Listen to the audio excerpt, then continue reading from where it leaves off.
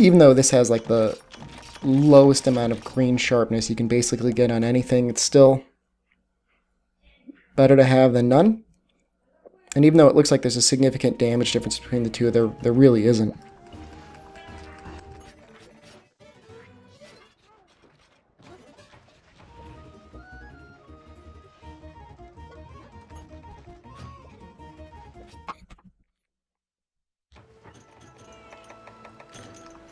Still slowly stocking up for these fire shots.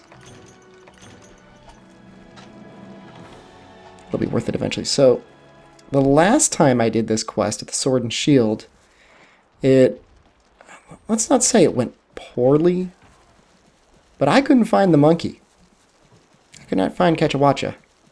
So I don't know what I'm doing wrong. I'm doing something wrong.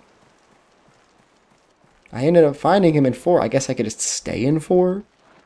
Wait for him to show up?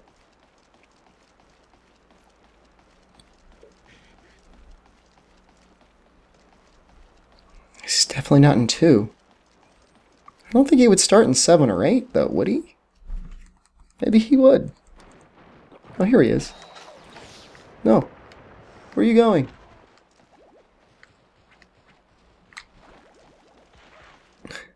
Think he went to two. Okay. So it all just depends on how quickly you can get there.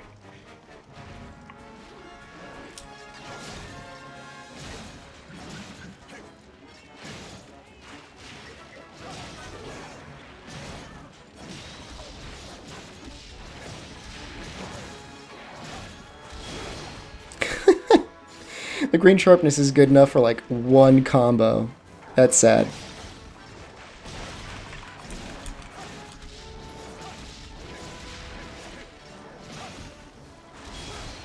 I was hoping I would get like the bug or something.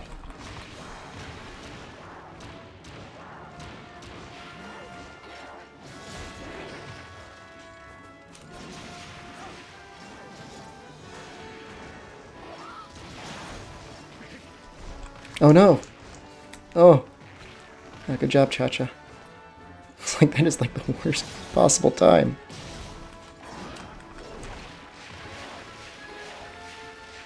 That's an interesting attack. He, like, causes tremors.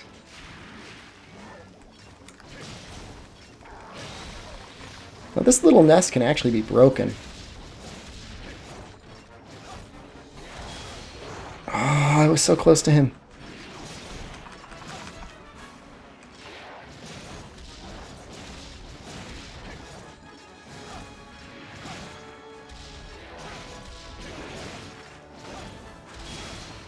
Oh, that was a really cool way to... So it's like if you miss, you can just kind of like fade slash and try to recover that way.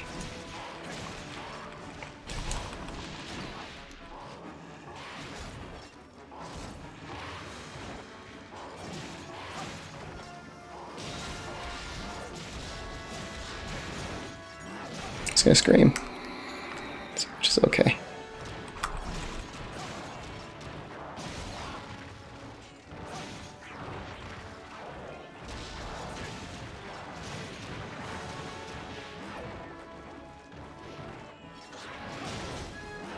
Cha-Cha's really, like, going to town on him. He's, like, aggressive.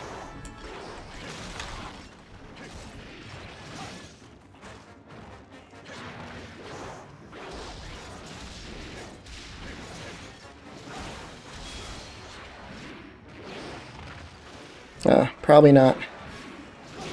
I know I've advised all all of you against fighting him when he's enraged and hanging. Let's see if I can take my own advice.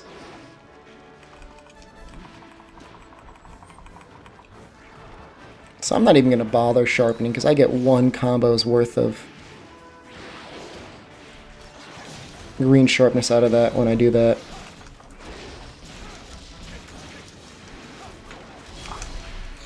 You know, if you're really light on Spirit Gauge, it might make sense to just try and just do the combo straight out of the Fade Slash.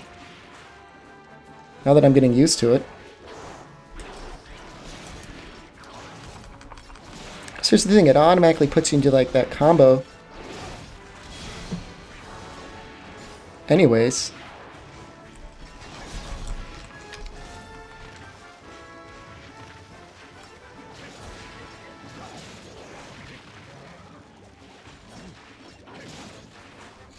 At least while you're building up the gauge in the first place.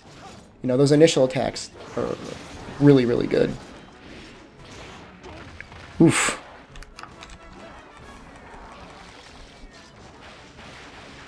Alright, so we might I going to say, let's get to a, a nest and try and do a leaping attack on him.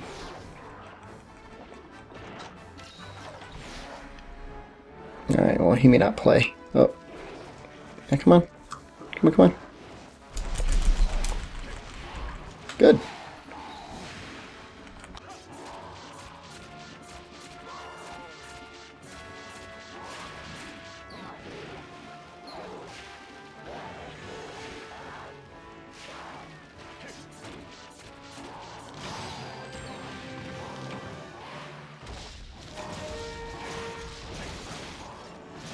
Okay, so that worked out really well. You'll see though that your the red gauge is not filled up at all.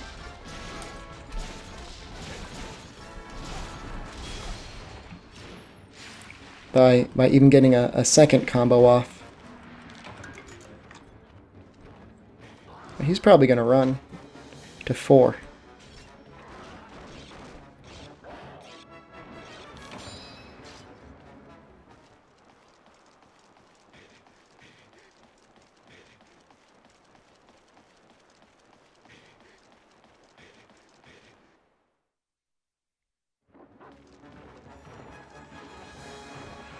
Okay, so unfortunately we're going to have to start just rebuilding our gauge from scratch. It could be worse.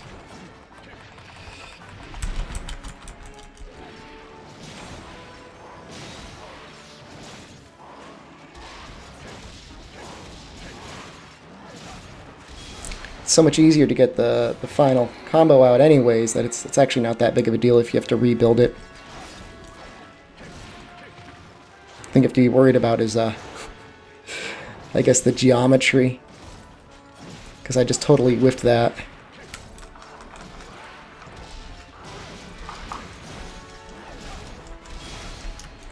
There we go. That worked out okay.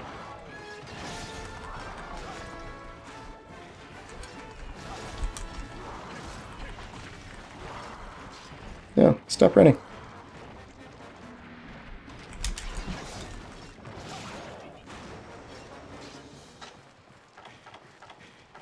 Well, probably should have tried to sonic bomb him or something.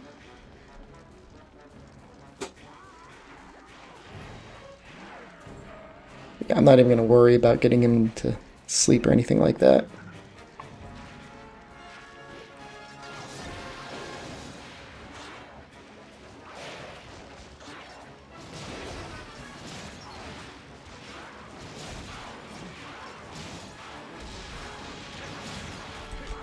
Oh, kind of accidentally. Oh. Well, the riding system is amazing, but it has it has issues. issues with the world that I'm sure will be uh, fixed a little bit in any further revisions to Monster Hunter.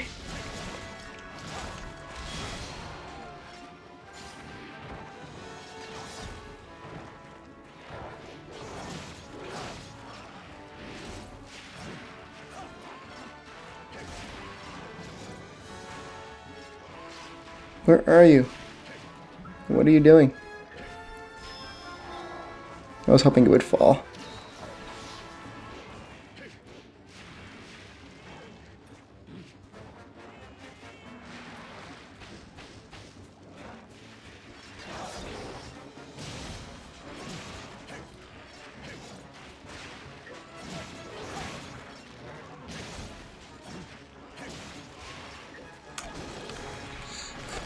He looks so weird when he's exhausted.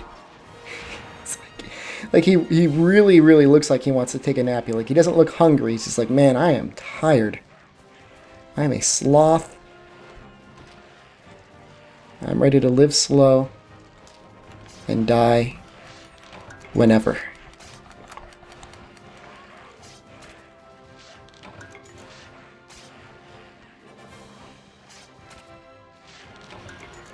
Okay, that still leaves Charge Axe, Bug Staff, Lance, and the Heavy Bowgun.